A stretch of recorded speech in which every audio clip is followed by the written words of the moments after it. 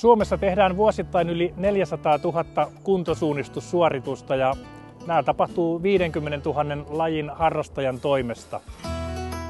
Suomen suunnistusliitto on julkaissut rastilippu.fi-palvelun ja Rastilipusta löydät kaikki Suomen kuntosuunnitustapahtumat, yli 100 suunnistusseuraa ja tuhansia kuntosuunnitustapahtumia ympäri Suomea.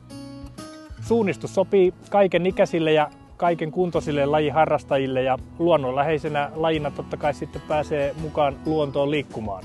Suunnistuksessa voit saada elinikäisen harrastuksen ja hyviä uusia ystäviä. Tervetuloa suunnistamaan!